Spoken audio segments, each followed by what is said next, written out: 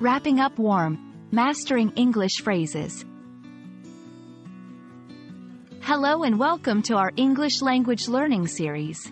Today, we're going to explore the phrase, to wrap up warm. This is a common phrase used in everyday English, especially during colder months. Understanding phrases like this is key to improving your English fluency. So let's dive in. To wrap up warm is an idiomatic expression in English. It means to dress in warm clothes to protect oneself against cold weather. The word wrap in this context implies covering yourself thoroughly, much like how you would wrap a gift. It's often used as friendly advice or a reminder. Let's see how this phrase is used in everyday conversations. 1. Before going out in winter, it's freezing outside. Make sure to wrap up warm. 2. Advice to someone, if you're going to the football game tonight, wrap up warm.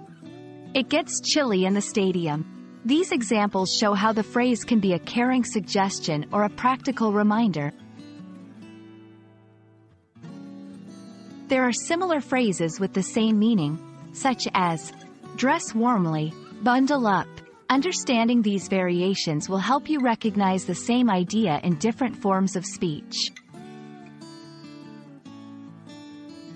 In English-speaking countries with colder climates, this phrase is very common. It reflects the cultural importance of being prepared for the weather, and it's often used in a caring, considerate way. That's all for today on the phrase, to wrap up warm. Remember, phrases like these add color and personality to your English. We hope this video has been informative and helps you feel more confident in your English speaking journey.